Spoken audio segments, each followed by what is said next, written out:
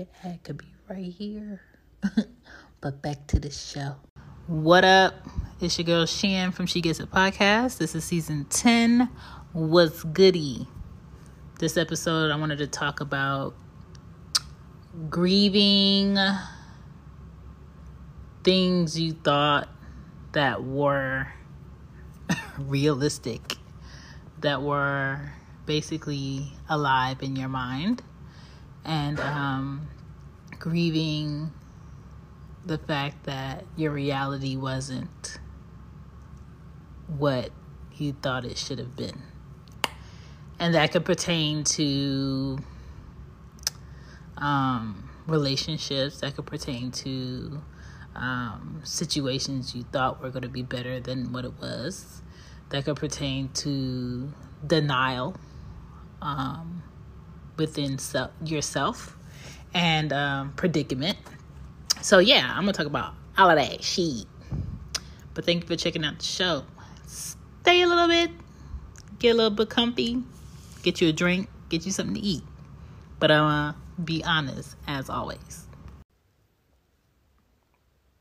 I think sometimes we all get um sort of kind of caught up in the idea of something being great, um, the idea of someone being it, quote unquote, the idea of a situation working out in our, in our favor, and um, the illusion of we are meant to be, or this was meant for me, or um, man, the situation couldn't be any more perfect and the reality is, um, sometimes we make up this comfortable illusion in our minds that people are who we want them to be, that we discard or we overlook or we um, cover up who people really, truly are to the core. And one thing about real life is you cannot cover up character. You cannot cover up um, cons. You cannot cover up um, truth. You can only um,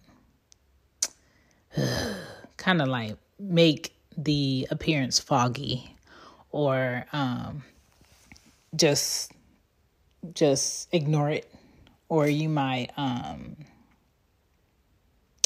you might want it to be so much better that you ignore that it's not quite what it should be. Because you feel like if you ignore it long enough it'll disappear. Or if you if you be better whatever be, you being better is is going to make that person be better. Is going to make that situation be better. Is going to make that situation not be so so horrible, but the reality is you cannot fix things that want to be broken.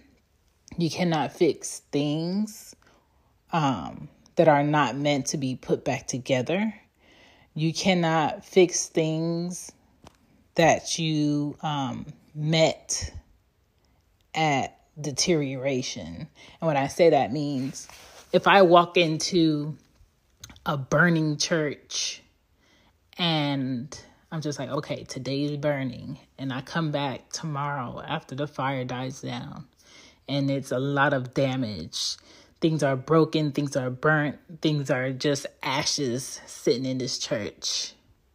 There's no way that I can honestly say, without a shadow of a doubt, I can have a whole congregation of people in here tonight we gonna have food. It's gonna be delicious. We gonna have service and everything's going to be safe. But sometimes people approach things with this oh my gosh you have to be positive or you have to be optimistic and you have to um, have vision. But sometimes you cannot have vision when things are shit.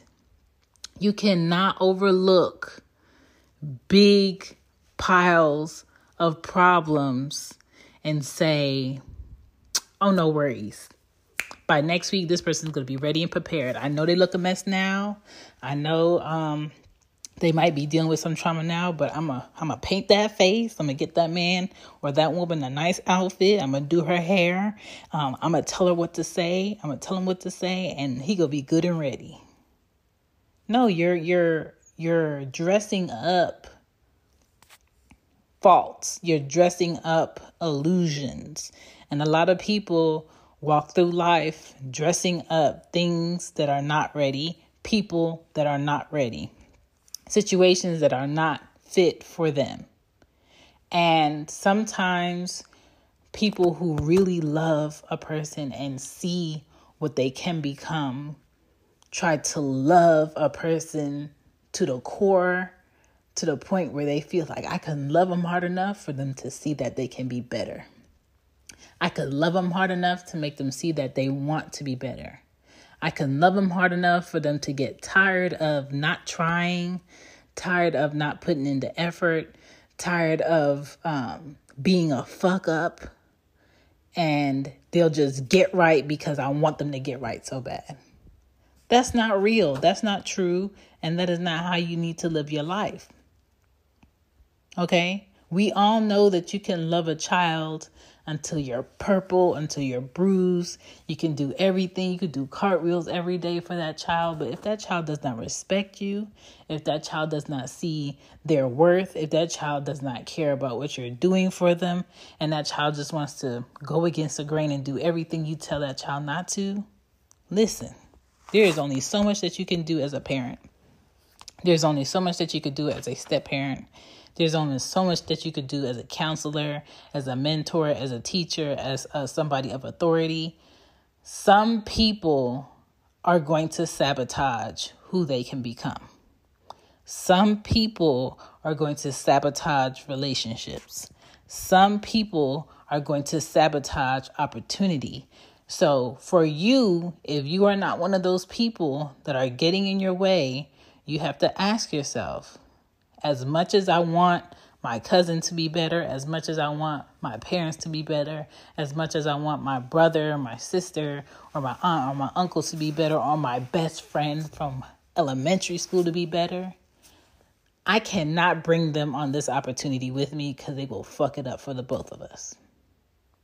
Okay? As much as you want your your friend that says they want the same things you want, but they haven't been putting in an effort, they haven't been showing up, but they've been giving you hella excuses like it's cash value.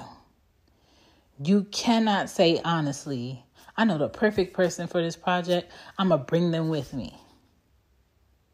You're going to fuck up all of your your opportunities by dragging people who are not ready. You cannot honestly have problems with a person you're in a relationship who's not trying, who's doing everything that they can to take advantage of you and you can't you can uh, you can't say, "Okay, we lived in a shelter. Now I worked hard. I did this, I did that. I struggled and now I got us into apartment." Now I've been saving up all my money. This person just been out here drinking, hanging out, spending their money, being late on the bills. I gotta play catch up because I want the both of us to be in a better place. Then you go from. Do you hear this? Do you hear this silence? Yes, this is a space where your ad could be played about your product, where your ad could be played about your business, about your show because I believe we can all be great on different shows and platforms. So if you're looking for ad space right now, your ad could be playing here instead of me talking and instead of this silence. So next time when I do an episode and you want to promote your show, your business, or your services, hit me up at she gets it pod at gmail.com. Now back to show. Back to show. Don't say I never gave y'all anything. I'm giving you the space to be great. From that apartment because you save, not this other person. You save because you had a vision for the both of you. You save, and now you want to move forward and you want to buy this house. You want to put down this down payment because you've been the um the more responsible one, the one who can have some self-discipline and put themselves on a budget. And you got the house, right? You got the house, the mortgage and you put both of your names on it, right? But you're the only one carrying the load for the both of you in the relationship where one person is really benefiting off of it and one person is slightly benefiting off of it, but you're struggling, you're tired, and you feel like you're single, but you're within a relationship. How long are you going to keep dragging this person along who have hasn't been putting in the effort since day one, but you've been carrying their weight? That's dead weight. And how many times have you sat down and had a real discussion about how you feel, what you need, and how that person can honestly contribute to the household, to the relationship, and become an actual partner in this thing where you actually want them to be there? Have you ever asked that person if they actually want to be there? Sometimes people are are childish, people are immature, and people can't honestly say directly that I know you like me and I like you sometimes, but I honestly don't want this relationship. I honestly don't want to be with you. When I wake up every morning, I don't think about us, I think about myself. Some people can't say that, and some people can. And you know what happens to the people that can say that? People call them assholes, people call them dicks, people call them um, just, just rude, mean, ugly people. But really, there are people who are ready and willing to live in their truth. And sometimes the truth that we don't want to hear is ugly. Okay? But people should be able to say to you, I don't want what you want, but I do like you sometimes. But I feel like the person that you want to do life with is out there, but they are not me. And it's also accountability on that person's part that's being direct with you to take themselves out of the equation. Sometimes um, that individual may stay and take advantage of your process, of you sacrificing, and of you doing the work because you're allowing them to sit there and take those those good deeds and those pros and those benefits of you struggling. Okay? Men do it, women do it, parents do it, um older siblings do it. Okay? Don't let anybody guilt you with love and emotional abuse to carry them in life. Okay. So when I say sometimes people grieve um, things that they thought were and things that weren't what they wanted, that's what I'm talking about. Sometimes when people miss a relationship or miss something that was, it's because they're missing what they thought that relationship or that situation or opportunity could have been is not the actual person. Like I I've had a few relationships, right? And I can honestly say that I didn't actually miss the person. When I think back at it, I miss the thought in my mind of what the relationship could have been, what that person had the potential to become, but couldn't meet themselves at that point. And sometimes that's realistically what it is. It's not that, oh, you really missed that job because it was really good. Is you missed the relationships you made in that job. You missed the people you work with. You missed the um, family feeling of it. You missed the laughs and hanging out. And it wasn't just um, some place that you collected a check. All right? You missed the benefits, but you don't miss the leadership. You don't miss the team. You don't miss uh, the petty HR issues and the petty um, clickiness of the office with adults. You don't miss that. Okay? Sometimes This could happen with relatives. You don't miss your relatives.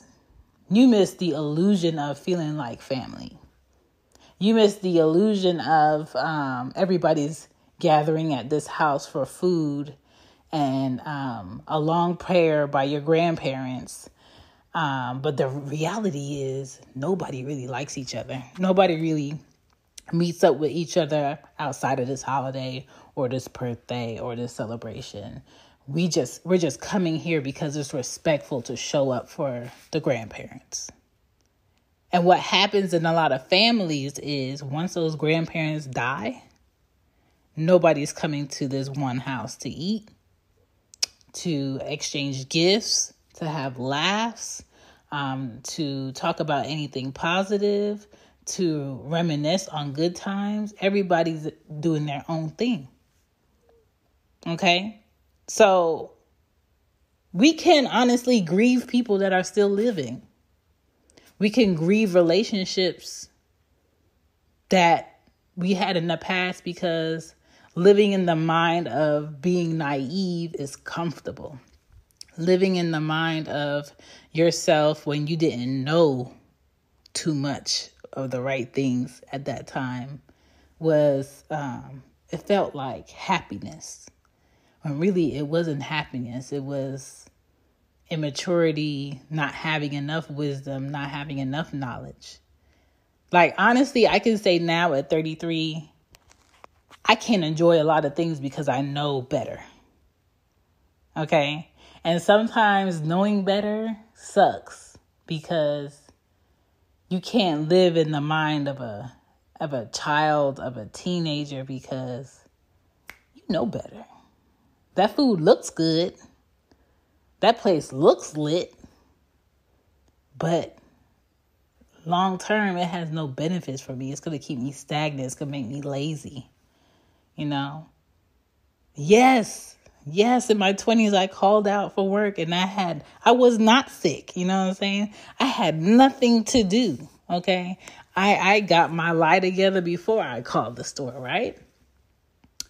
But if I do that now in my 30s, having a house, having kids, I'm I'm I'm I'm taking out so much out of myself by doing that. I'm taking away from my family by doing that. So sometimes you're going to have to suck it up. You could grieve a little bit. I'm going to give you 2 minutes to grieve what you thought that was. What you thought that relationship could have been but it wasn't. And the reality was you did not need that person. The reality was, you probably would have been a better person, you know, being more optimistic now if you didn't have to deal with that bullshit in that long relationship. A lot of people know that there's a this this whole job right now that they're sitting in is a dead end. A lot of people know that the relationship that they fake that they have goals for is going to be a dead end and the way that it's going to end is going to be trash. It's going to be horrible. But they're they would rather sit in the illusion of what they think and they want to be the ending result than to actually cut their losses now and prepare for the shit show. And that's fine because everybody you you can take your own time. Ain't nobody rushing you. You know, once you you grown, you grown. I'm not telling you when. Can't nobody tell an adult when, but there's it's coming.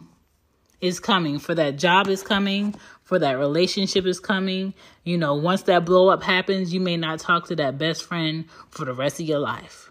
Once that blow up happens, you may not talk to your, your brother or your sister for years. And then one day you might just show up and y'all might just have a conversation and never bring up what happened ever. But there's an understanding. There's an understanding that I just, I'm fed up. I just got to a point where I was fed up and that's not what I wanted anymore. And I just couldn't hold it anymore. I couldn't fake it anymore. And so sometimes we will grieve people that are alive and living. We will grieve situations that we thought were something, but it wasn't. and we will grieve um,